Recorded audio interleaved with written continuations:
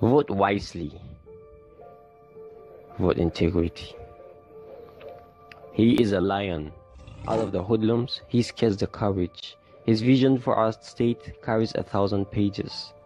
Positivity in his governance, employer to thousands. Like an artist, he paints our faces with colors of smiles and grins. Infrastructure was destroyed or rather not in place, but your GA government has brought it back, strong on its feet.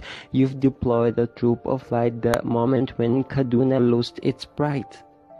Until you came in, the state had no direction. Like a loose truck with a driver that's got no sight. Between tribes, that was the fight. Corruptions and bribes, gunshots and fright. We were fed with our blood, that was the diet. It cost a life when you contest or riot. Our mouths were forced to stay quiet from the darkness where we lived.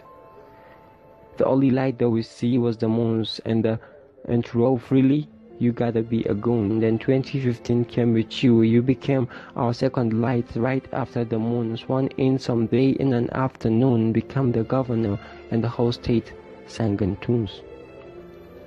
Look at the roads and how they connect. And look how the water flows. It's just like empty and everywhere you go. And the feeding program he initiated with the water project in Zaria, our mouth stays full even while the country shouts Buhavia.